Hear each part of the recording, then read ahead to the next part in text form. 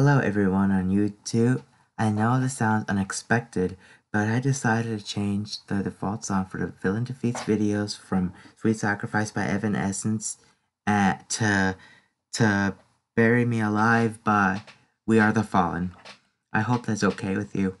And I just, I just, uh, I just don't want people to ask uh, or say, change, make up your mind. I mean, that's mean, you know.